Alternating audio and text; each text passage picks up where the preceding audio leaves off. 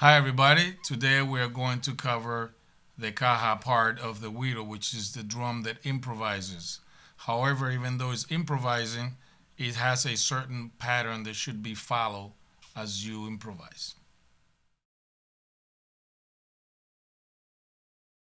So now we're going to play the first güiro variation on the caja.